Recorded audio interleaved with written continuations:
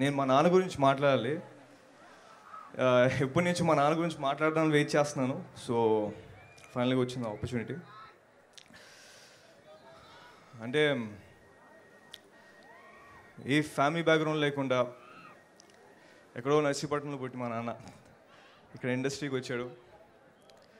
కష్టపడ్డాడు.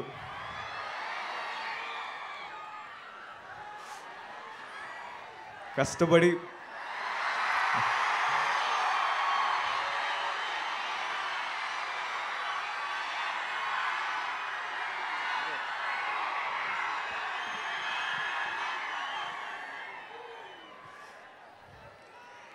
మా నాన్న కష్టపడి ఇండస్ట్రీ అన్న ఒక మా సముద్రంలో దూకేసి.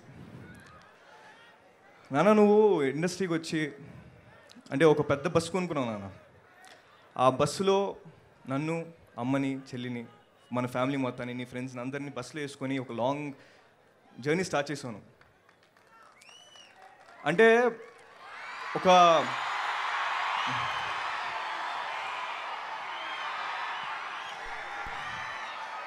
ఒక రాంగ్ ఒక రాంగ్ పర్సన్ని నమ్మడం వల్ల సడన్గా జర్నీ బాగా మంచిగా వెళ్తున్న బస్సు సడన్గా ఆగిపోయింది.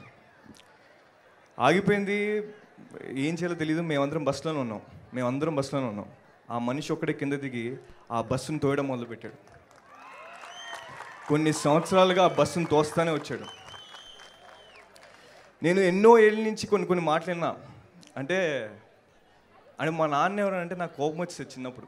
అంటే ఏదైనా బ్యాడ్ కమెంట్ ఇలా చదివితే ఆడింటికి వెళ్ళి ఆడి తలపోలు కూడా అనిపించేది నాకు. ఆ రేంజ్లో కోపం వచ్చేది. అంటే కొన్ని కొన్ని మాటలు ఏంటంటే బాధ బాధ అనిపించేది నాకు. అంటే పూరి టైం అయిపోయింది. ఇంకా సినిమాలు ఏం చూస్తాడులే? అయిపోయింది ఇంకా సేమ్ రొటీన్ సినిమాలు అని చెప్పి ఇలా మాట్లాడే కొన్ని రోజులు వచ్చాయి అప్పుడు.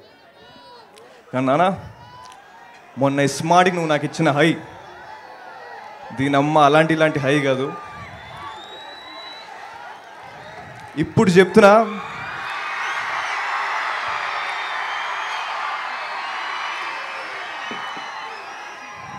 ఇప్పుడు చెప్తున్నా.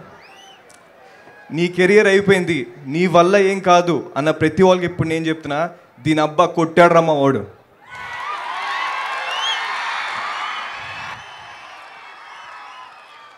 సో నానా థియేటర్లో జనాలు నీ డైలాగ్స్కి ఎగురుతుంటే దినమ్మ కాలర్ ఎగిరేసాను థ్యాంక్ యూ నాకు ఆ మూమెంట్ ఇచ్చినందుకు థ్యాంక్ యూ ప్రతి ఒక్క చిన్నదానికి థ్యాంక్ యూ